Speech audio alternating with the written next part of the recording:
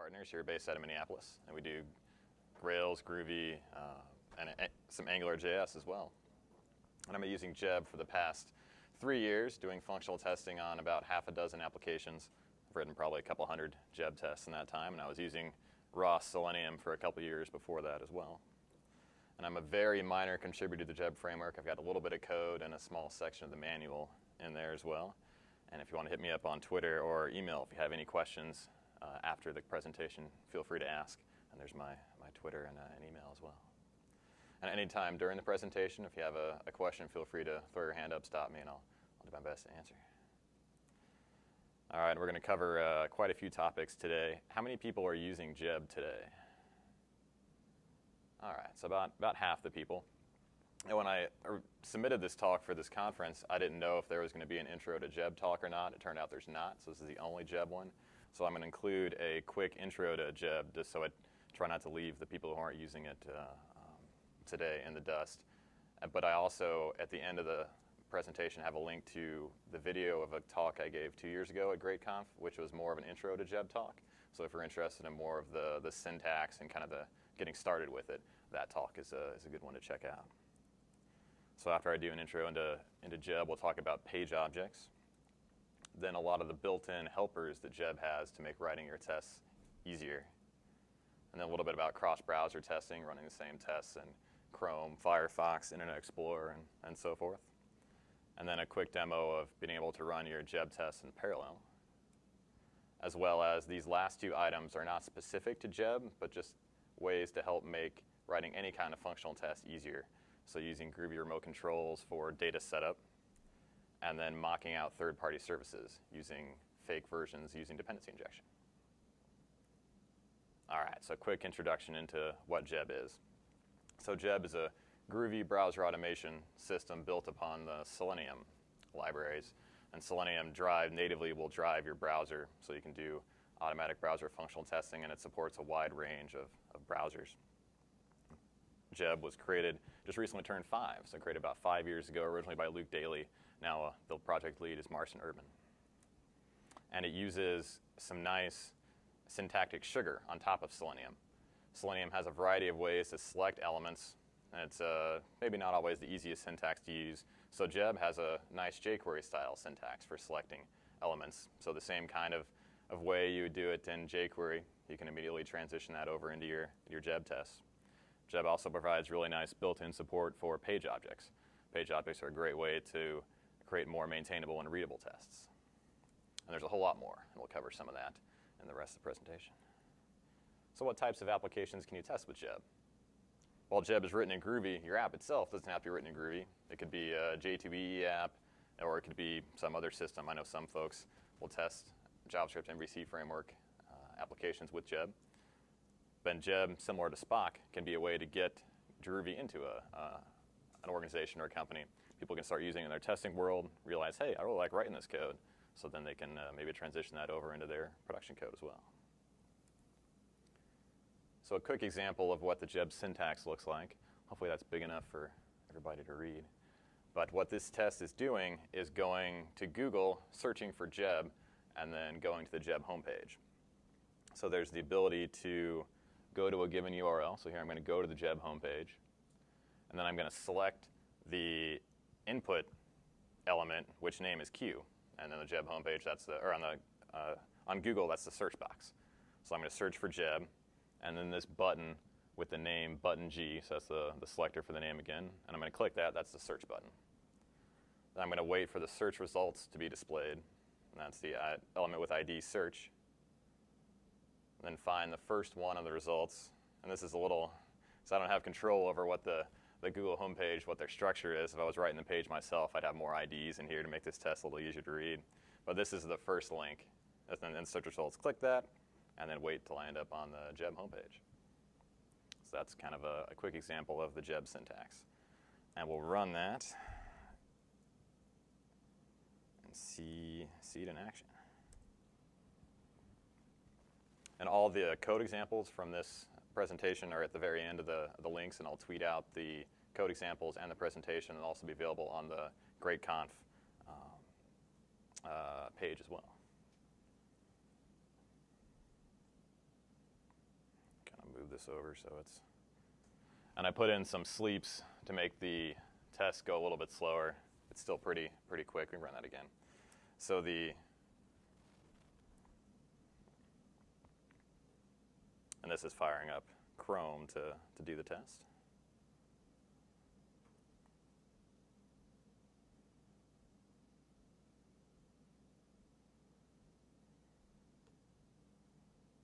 Yeah, so it goes to Google, search for Geb, click on the first link, and then boom, I'm at the Geb homepage. All right. So there's a variety of selector syntax you can use in Geb, selecting by ID, selecting by class, definitely two of the most common. You can select by any HTML attribute. So if there's no class or ID on there, for example, on the, the Google homepage, I can search by the name attribute. Or you can also select by text. So Geb will go and grab the elements and look for the text.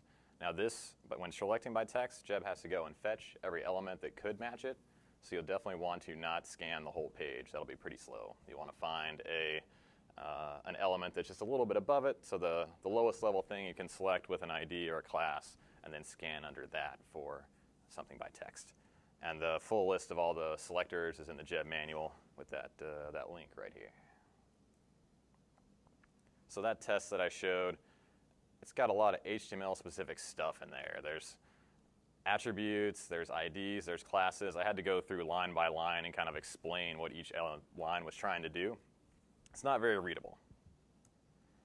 Also, if I have multiple tests that are using the Google homepage and Google changes some of the structure of the page, changes the name of the search box and so forth, I'm going to have multiple places to go and update in each one of those tests. I don't want that. Is there a better way to do this? Can I abstract that page-specific stuff out of my tests and put it somewhere else that I could reuse it across pages? And the answer is yes, that's page objects. Now, page objects are not a specific thing to Geb. They've been around for a while, the idea of page objects. I was using them back when I was doing raw Selenium a few years ago. And page objects, you take all the element information of the page and put it off into a helper class. That way you can reuse the element selection and so forth across different tests, and you only have one spot to update if anything changes in those, those pages. And the tests themselves also become easier to read, as now you can define in your page object what that, say, field or button is called, and it makes the, the test a lot, a lot more straightforward. So here's an example of that same test rewritten using page objects. So now I'm going to the, in this case, the page object class is um, Google homepage. So I'm going to go there, fill in Geb in the search box, and click the search button, click the first link in the search results, and verify I'm at the Geb homepage. And there, my verbal description is almost identical to what the test is, much more readable than that first version I showed. Now here's an example of what the, the, the, page object could look like for Google homepage. And in Geb, all your page objects just extend the geb.page class. And there's a few different conventions here. One, all the elements are defined inside this content block here. So I have the name that I'm going to use in my tests, and then just that same selector. So I can just take the selector that I put in my old test, throw it right in this page object for the search box, search button, and then the search results link. And then I have the URL in here, how to get to Google. So that's how why I can call that to method and then go right to the Google homepage. So I mentioned the elements on the page, how to find them. You can also optionally include a way for Geb to verify the test is on the correct page. That seems kind of trivial. Why would you want to do that? It makes debugging failures a lot easier. If you don't have that and your test ends up on the wrong page, maybe there's an error in the flow or something like that, and you end up on the error page, you'll get a, an error message like, oh, this element I was trying to find isn't present. Whereas it'd be a lot nicer if Geb told you, hey, you're on the wrong page, you're on this error page instead of the, the way I expected. So that's kind of, kind of an optional way to, to do that. And then that URL, which you don't have to have, but if you want to go straight to the page, you want to define the URL to go directly to the page. And that can be a way to speed up your test time. Maybe you have an application with a, a bunch of pages underneath a login page. So every test has to go, do the login, and then maybe you're testing a page that's five deep in the flow, rather than having every test that wants to touch that page go through all five pages. Because browser tests are, are a little bit on the slow side. You can log in and then just go straight to the page. So it can make your tests more isolated and a little bit faster to run. Since these page objects are just standard classes, you can also have helper methods in there. And I'll talk a little bit uh, more in a little bit here about some of the, the ways you can make writing tests a lot easier by including helper methods inside your page objects. So you got the content block with all the selectors, every element you're going to want to interact with on the page, so all the fields, links, buttons, all that good stuff, and then all the different selector syntax. So say I have an application where I can, I want to record all the ideas that I think of throughout the day so I don't forget them. So I want to be able to create an idea with a, a title and a description, and then there's a button to save that idea to the database. So here I've got, got two fields and a, and a button, all with IDs. And then here's how the syntax to verify you're at the correct page, just static at, and then a closure that's going to return true if you're at the right spot. So this one is going to check and say, hey, is there a div with the ID, create idea on the page? If there is, great, I'm at the right spot. If not, Geb will throw me an exception and tell me I ended up on the wrong page. And then if you want to go straight to the page, the URL. So now I can call the to method, and Geb will go right to that spot. And these can be either absolute URLs or relative ones. For the Google homepage, it was an absolute URL because that's outside of my application. But for a relative one, then you can just have the, path relative to your application.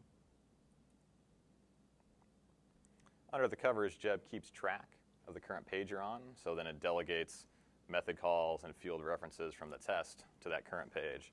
So if you're going to be changing pages, you want to tell Geb, hey, here's the new page I'm at. For example, clicking a link, submitting a form, that kind of thing. So to do that, there are several options you can pass to any of these fields inside the content block. One of them being to. So then I'd say, hey, this create button is going to send me to a different page, in this case, the idea show page. So I just pass in the class of the page object it's going to send me to, and then under the covers, when I click it, so I click the create button, and this browser.page is Geb's internal reference to the current page. That's that class of that page is now idea show page. And there may be times where a specific button or link could send you to multiple spots. So in that case, instead of just putting one class there, you put a list. And if you do that, then you have to define the at checkers for each one of those possible pages, because that's how Geb figures out which page you really ended up on. Is it runs the at checker for every possible page in your list, and then says, hey, whichever one of these things returns true, that's the page I really ended up on. So here, if my create button, if something goes wrong, maybe it would send the user to an idea error page. So I would say, okay, it could be, could be show or error. And then I just give it a list of the, the possible choices. So that's kind of the standard, standard Geb way to do page objects. And for the past couple years, I've been doing a slightly different way to do it. So I'll go through this, and this is totally optional, but for large test suites, you, going this route can help can help save you time when reading and maintaining and writing new tests. So kind of the standard way, as I mentioned, Geb delegates method calls, field references to the current page object in your test. So say here's a test that's going to go to my home page and then try to log into the system. So after I call to home page, Geb's internal reference is to the home page class, then I'm going to click on the login button. That's going to send me to the login page. Then there's two fields there to fill in the username and password and click submit. And when reading this test, I'm not, it's not obvious to me, all right, what page am I on now? Where did submit send me? And what fields are available on that page? What can I do on that page? So there's, I've gone through a couple different names for this technique over the past couple years. The section of the Geb manual is called strongly typed pages, so I'll go with that. In this case, the test keeps a reference to the current page, and that's just a, a class instance. So then it uses that for any kind of navigation. So the to method returns the instance of the home page I'm on in this case. So I've got my instance of home page, and I put a method on there to click the login button. So then using, say, IDE code complete and type ahead and all that good stuff, I now know what actions are available on the home page in my test without having to switch back and forth and try to figure out what page I'm on or, or anything like that. So when I click the login button, and this changes the page under the covers. So I've written this method to return me the instance of the new page. So now I have a hook into the login page, and I've got a, a method on that, that class to do the login. So that method abstracts away what fields have to be filled in, what buttons have to be clicked, and so forth. So the test reads a lot more like the just the sentences I would write down to tell somebody how to run the test. And that makes writing the test a lot a lot quicker as well. And then I know immediately that this login method returns the dashboard page, so that's the page I'm on now, and I can keep writing my writing my test. Because each a method that changes the page returns an instance of the new page, you can chain these calls together and make this test even shorter. So this method right here, click login button returns login page, but I don't do anything else with the login page besides log in and move on to the next one. So I can just chain all this stuff together. So once I'm on the home page, click the login button and then log in and I'm right on the dashboard page. So I can get an even shorter test. So a couple of the characteristics of this type. So all these page objects have helper methods on them that simulate the user actions. So that way things like logging in, filling out forms, and, and all that good stuff. And each method that changes a page, submitting a form, clicking a link, and so forth, those are going to return me the instance of the page I end up on. So I can chain the calls together or keep a reference to the, the current page. So here's what the home page would look like in this example. My login button is going to send me to the login page. So I got my two definition up here, and then my method to click the login button, and this returns browser.page. So once I've called click, we saw under the coverage, Geb's going to change the instance in browser.page to be the next page I end up on. So it'll return me now an instance of login page. And the login page has my username and password fields and submit button. So this login method hides the fact that, know, in this case, it's, it's pretty trivial. It's just filling in two fields and clicking a, a, submit button. But if you're filling out a, a large form or anything else bigger, it can be, can be really handy. For example, if I'm dealing with dates, so in the insurance world, you can add a, a dependent to your um, to your coverage. So you can say, I'm going to add my spouse, my child, and so forth. I have to include their name and their date, their birthday. So I don't want to think about in my test, oh, is the birthday on the UI split up into maybe three different fields, one for month, day, and year, and all that. It'd be really nice if I could just deal with a date object, not have to do that, that conversion in my head in the test itself. So maybe if I want to do a, a, a Joda-Time local date object, and I can just have the page object deal with splitting that out and putting it into the the three fields that it needs. So in this case, I have a day, month, year fields for my birth date, and I just have the page object go and split and grab the day of month, month of year, and year fields to go fill those in. So my test is a lot easier to write, and it just abstracts away the fact that those, there are three different fields for the birthday.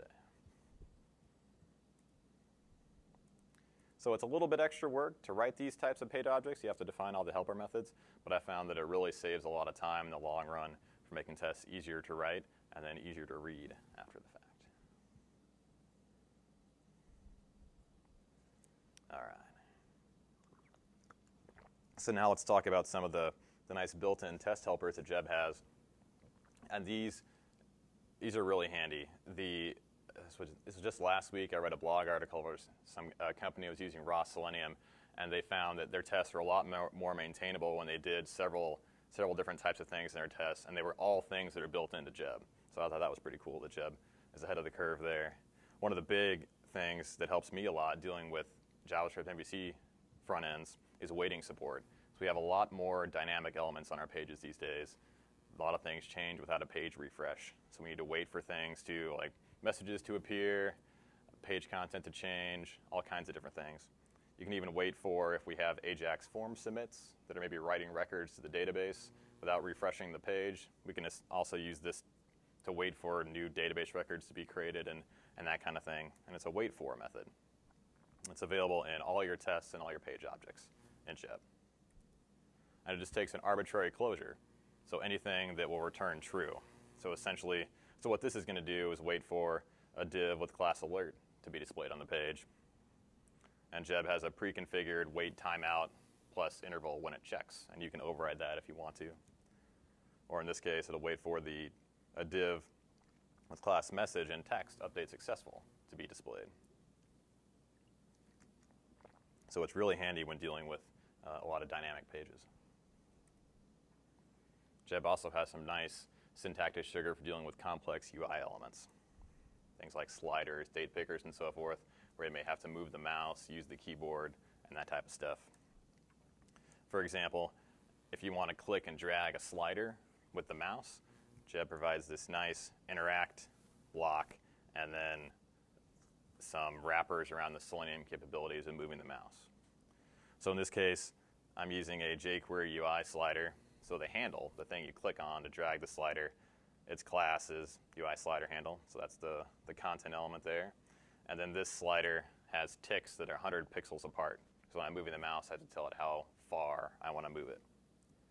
And then this interact block here is telling Geb, all right, we're going to start using mouse interactions now. So first thing it does is click and hold on the slider, because I'm going to click and drag this thing. So I click on it, and then I move it by a given x and y. Because it's a horizontal slider, it's only going in the x direction. So say in this case, maybe 200 pixels to the right, moving the slider two ticks over, and nothing up and down. So zero for the y, and then release. And that's all it takes in Geb to click and drag the mouse. You can use this for drag and drop, all kinds of stuff. It's, uh, it's really handy. So we'll do a quick demo of what that looks like.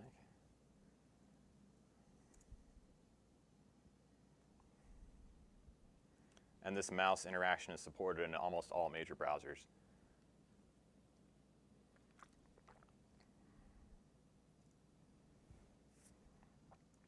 fire up here.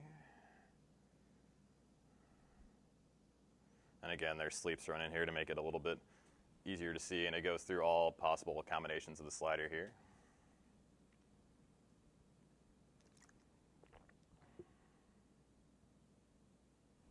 All right. You can also use the keyboard. Oh, yep, question back there. Safari. Yeah, so the once we started testing in Safari, we had to switch over to using the keyboard to move our slider around. So you can, Geb provides a nice syntactic sugar. You can use a left shift operator to send keystrokes to any element. For example, if you want to fill in the input field by having it simulate every letter in the string value, in this case, like somebody typed in the, the letters on the keyboard, this is how you would do it.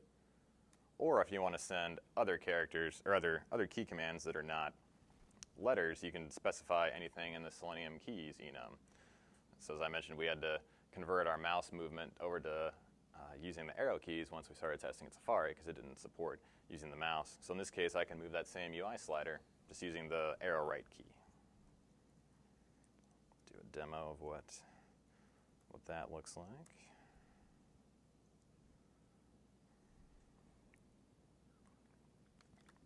So this is the same test, creating ideas with, with ratings, but in this time using the keyboard instead of the mouse. So you can see kind of a going through the different tick marks here. So I'll start off at two, and go over to two, then three.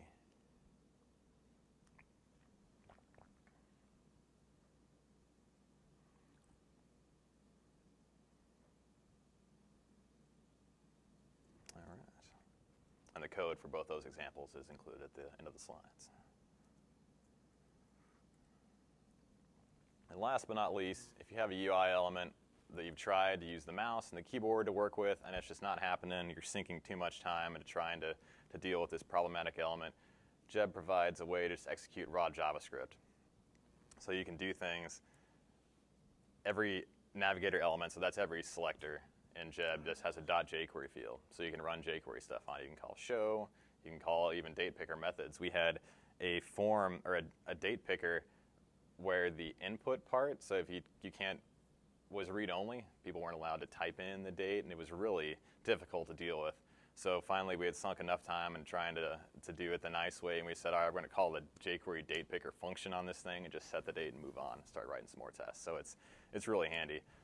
Also, Selenium doesn't support interacting with any kind of hidden element. So if you have something like a drop down that you have to mouse over to see, sometimes that can be a little hard to deal with. If you don't want to have to try to get that right, you can just call .show. So in this case, it's the, so if I hidden link here, I it's .jQuery to execute the JavaScript, and then I can ex execute the jQuery show method, and then click it without any, any issue.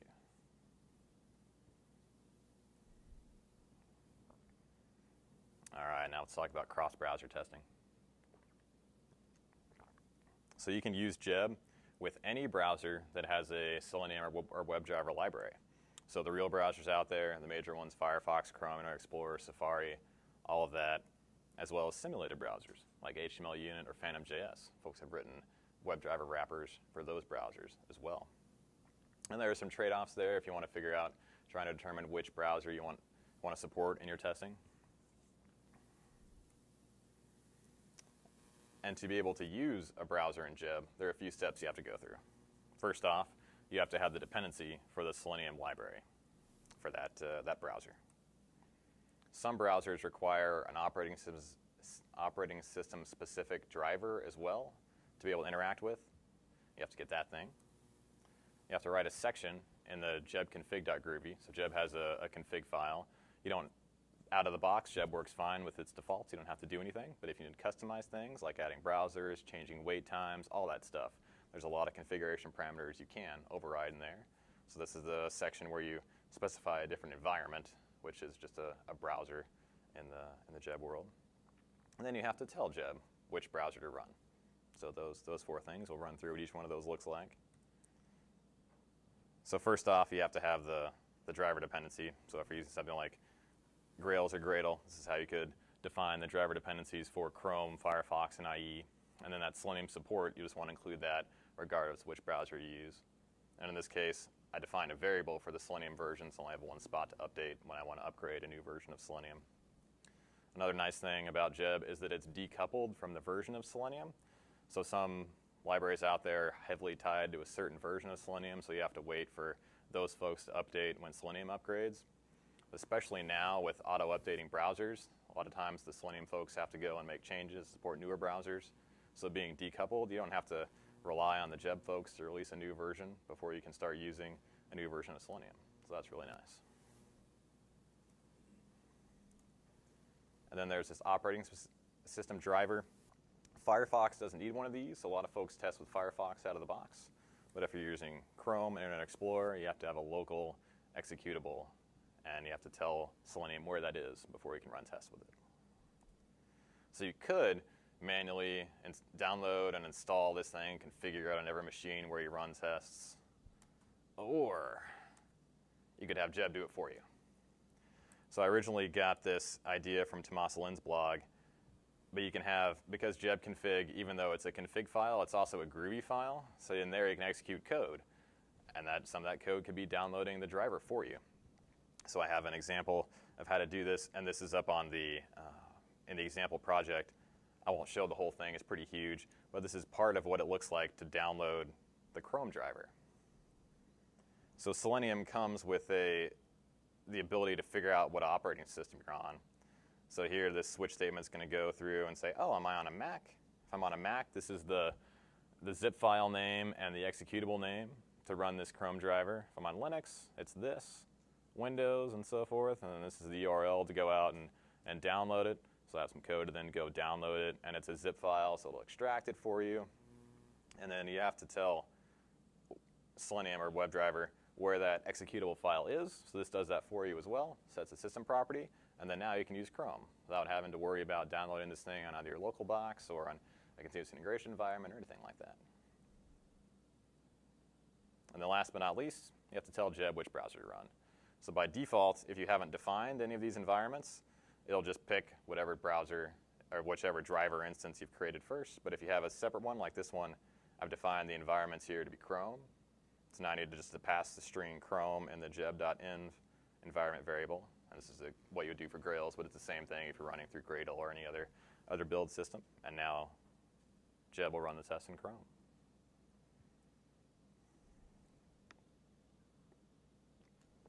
Now let's talk about running tests in parallel. So browser functional tests are a little bit on the slow side, definitely slower than unit tests, a lot faster than running the, the same steps by hand. But if you get a large enough test suite, it can take a little bit of time to run the thing. So be able to run the test in parallel could save you a, a big chunk of time. So what, what do you need to be able to do parallel testing?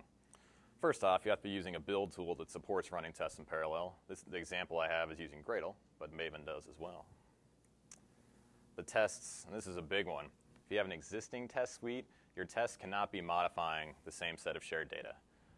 If your tests all have the assumption that they're going to run one after the other and they're modifying any kind of data that each one uses, you can end up with a lot of headaches of all kinds of weird intermittent failures when tests are modifying the same data. So if you have a large test suite with a lot of shared data, it can be a huge time uh, and resource intensive operation to get these things run in parallel. So it's definitely better off if either you have a test suite with no shared data or you're starting from scratch before you start uh, trying to do things in parallel. So yeah, the safest way, and actually this is probably safer in, in serial testing as well, is just have each test be responsible for creating its own data. So they don't have a bunch of shared data to start with that any test is mutating. For example, if you have one user that all your tests are using, and you have a test that goes and verifies what happens when that user is disabled or locked, then what happens if they the, that test locks the user while another test is running at the same time trying to do it, and, and there's, there's all kinds of, of problems that could, could happen there. So this example is using Gradle to run a Grails 2 app and then run that Grails 2 app's tests in parallel. So this is a little bit of a, a contrived example, and I'm hoping now, because Grails 3 is using Gradle as its native build system, one of my, the next things on my list is to try and see if I can get Grails 3 tests running in parallel without this uh, kind of hokey integration. So I'm using Gradle because that supports running tests in parallel. And then I'm using that to just run the Grails wrapper to start up the app and then run two tests simultaneously. And then Grails has this little known feature where you can stop the application by creating a file called, I think it's .kill run app in the directory where Grails is running. So then it'll shut down for me after that. That's what the, the Grail file is doing. So let's do a demo of that.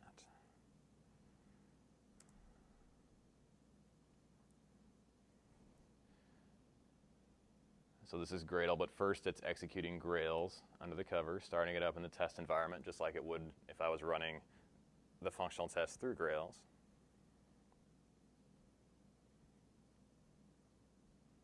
All right, now Grails is running, so now it's going to fire up my tests. There goes one, and there's the second. I'll move these aside so you can see there's two running.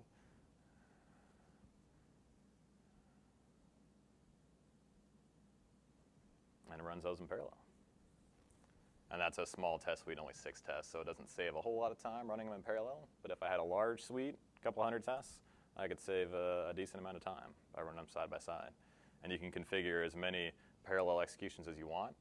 There's a little bit of startup time, as you saw, starting up the browsers. So depending on how large your suite is, you could spend more time starting up than you do save if you have a lot of run in parallel. But if you have, say, 100 tests, you run four at the same time without a problem. All right, so that's all the Geb-specific parts of the talk. Next, I'm going to talk about a couple things that can save a lot of time when writing functional tests. These will apply if you're using Geb, Selenium, you're writing API tests, anything like that. So this is about the Groovy remote control. So before I get into what that means, what, do I, what is this useful for? Can I ask you one question before you leave the Geb? Absolutely. Any uh, words on running uh, Geb tests uh, headless? So like, you know, your CI server's going to run the test, but you don't have the browser. Absolutely. So for the video, the question was, what, uh, what about running tests headless? And one thing you can do is use uh, X Virtual Frame Buffer. That's what I've used for all my, my Jenkins boxes because they all don't have a, a, a, monitor hooked up to them. And it's uh, just built into Linux. It's really straightforward to just have your, your CI environment start that thing, and then you can run any kind of real browser with it. So yeah, that's a good question. Yeah, X Virtual Frame Buffer. So remote controls are great for doing data setup and then verification, grabbing data after the fact.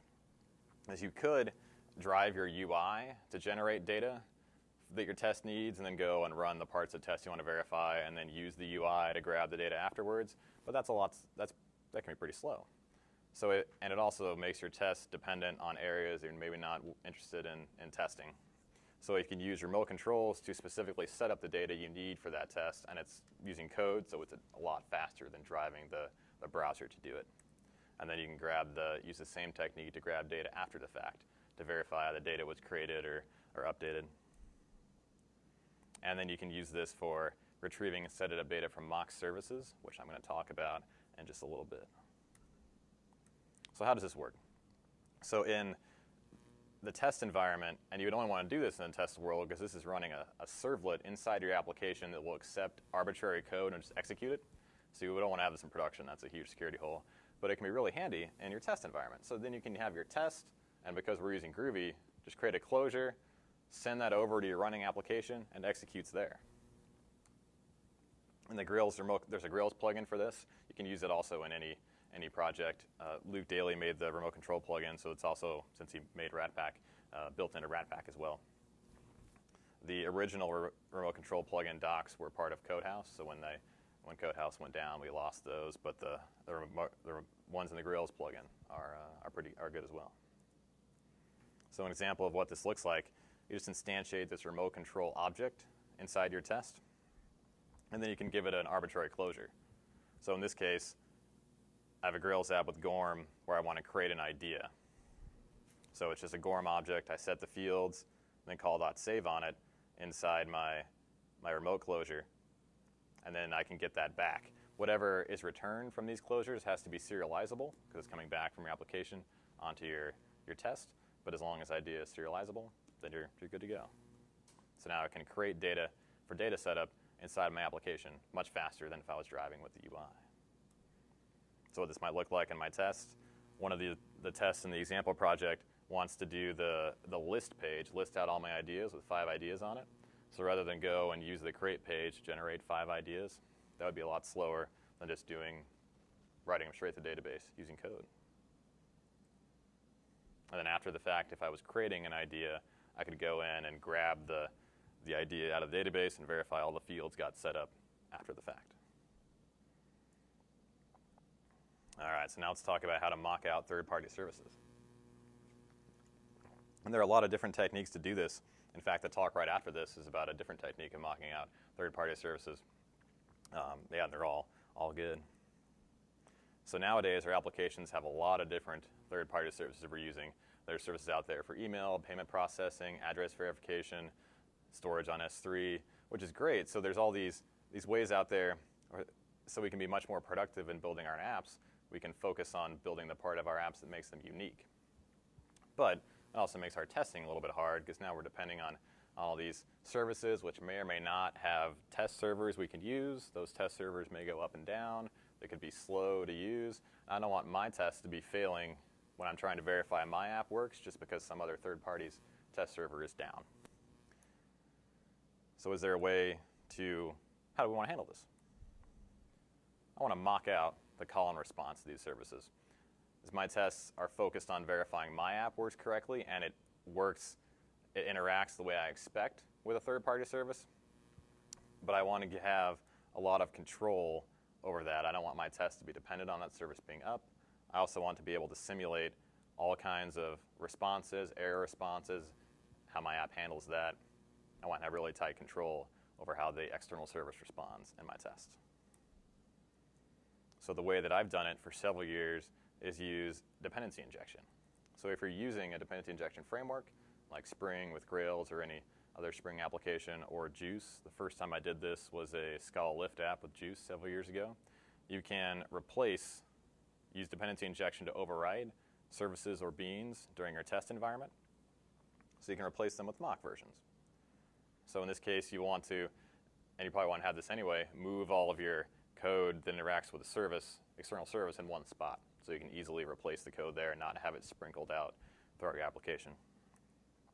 And then when you're running your functional tests, use your DI framework to just replace that service, the part of the code that interacts with the external service, replace that with your own test version. And then you can, by using a remote control, interact with that mock service during your test to maybe set up data, set up the responses it expects, give your test, has really tight control over how that that service is going to respond to simulate the scenarios it needs to verify your application. So for an example, I have my application where I can create ideas, and maybe I think some of my ideas are so good, I want to submit them directly to the patent office. Now, this is assuming the patent office has a, an API. They probably don't. They probably don't want people just submitting random stuff to them. But assuming they did, so say I had a, a service with a method on it called send to patent office that would do whatever is necessary to, to submit my idea straight to the, the patent office. Now, I wouldn't want to do this when I'm running my tests. I don't want to, to flood the, the patent office with all the random test data I'm using. So I want to replace this during my tests. So to do that, I just create a fake version of it. And I, so I extend the, the real patent office, so then I can override the single method in there. I would do if I had multiple methods, I would override the, all the ones that interacted with the real patent office. So in this case, I override send to patent office. Instead of hitting the real patent office, I'm just keeping track of a list of all the ideas that were my test attempted to send to the patent office. So in the Grails world, you can use the resources.groovy to either create your own beans or override existing beans. And a lot of other, uh, you can do this in standard Spring with XML. And Grails has the notion of an environment. So during functional tests, the environment is set to be test. So in this beans definition, I'm going to check, okay, am I inside a test environment? If I am, I'm going to override the patent service bean, because all services in Grails are instantiated as beans, singlet beans. I'm going to replace the, and I specify the class that I want to use, in this case, patent service mock. So this is going to go in and replace the actual patent service with my fake version during my tests. So here's an example of what this would look like for a test that uses this mock service. So I like to take my remote controls and wrap classes around them to make them kind of like, it's almost like a page object for my remote control, so I don't have a bunch of remote calls inside my all my tests. I just have a nice abstract layer that I can use to interact with the remote control. So in this case, I go and I use the UI to generate the idea. And then on the idea show page, this call right here, submit idea to patent office, this is the one that's going to use my mock service. So once that idea is submitted to the patent office, I'm going to go and use the remote control to grab the idea out of the database and then verify that it got sent into the patent office. So I'm going to go and you fetch the list of ideas out of that mock service and just verify that the one I created is in there. So then that, that's how I expected my application to interact with a third-party service. I didn't actually hit the real, real thing. So then what that would look like in code, this idea of remote control, as a method to go in and access the mocked version of the service. So in the Grails world, the Grails plugin provides a hook into the application context, which has every bean in there. So you can do something similar to this if you're not in a Grails app, but the Grails app plugin makes it a lot easier. So I can go, and this patent service is going to be an instance of my mock patent service. So I just go, I've got a public field in there with all the ideas sent to patent office, so I can grab those. They're serializable, send them back over the wire to my test, and verify the, that they work as I expected. All right, so we'll finish up here. If you want to contribute back to the Geb framework, there are a bunch of different ways you can do it. Geb has a mailing list. People ask questions on there. Feel free to come, Joe, go and jump in and try to help answer questions. Uh, Marcin Erdmann, the current project lead, is also very active in there. So if you have any questions, feel free to ask them in there. A lot of times he'll be the first one to respond. You can contribute back to the Geb manual. I think it's called the uh, Book of Geb. It's very good documentation, and they, they'll love to have pull requests to add new information there as well. And then you can also grab a small issue and start contributing back to the, the Geb framework itself. Geb has a ton of internal tests, so it makes it real easy to add, say, fix a bug or something like that, add a test that reproduces the bug, fix it, and submit it in a PR. Um, it's a great, great project to start getting your hands, hands dirty if you want to start contributing to open source. And here's a list of a bunch of different resources. I mentioned the manual, the user mailing list. Geb has a couple examples out there, the official examples for using it with Grails and with Gradle. Also a link to the most of the examples that I use in this presentation, including the one for running tests in parallel. And I also created a example project for using Geb with Grails 3. This Geb is built into Grails 3, so there that actually was very trivial. so it wasn't even uh, yeah, worth mentioning here. But Grails now includes a command to create functional tests called create functional test, uh, where you can go and generate your own. Also a link to that intro presentation I mentioned I gave a couple years ago for the folks who who haven't used a lot of Geb and want to learn more about the syntax and so forth, go watch that video.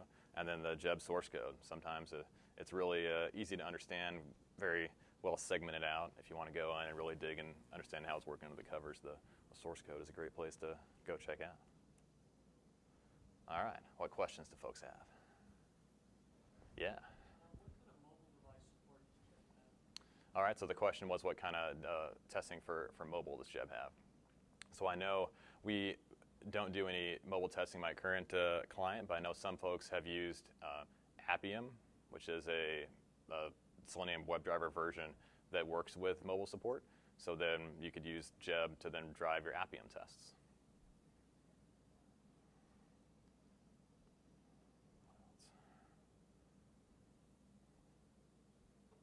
All right. Oh, another question. In our project, uh, creating Geb tests is painfully slow, partially because uh, the project will be large and takes minutes to start it up. So Mm. we started the Geb test, which is way nightmare. And how do you deal with it on other projects? All right, so the question was, how do you deal with the slow startup time of an application when you're trying to write tests and it takes a few, a few minutes to start it up? You can, so if you're doing just standard, the built-in to say Grail's way to run Geb tests, it's going to start the server for you and then run the tests. But you can run Geb tests against a running server. So you can start up your tests, or start up your server, you know, it takes a few minutes, and then just leave it running and run your tests against it. So that can be a way to speed up development if it takes a long time to, to start up the app. So you, in that case, you would pass in the URL, and there's documentation in the Geb manual on how to do that. Pass in the URL to your running server, and then Geb won't try to start the app server. It'll just go and hit an existing server. So that can be a way to save time.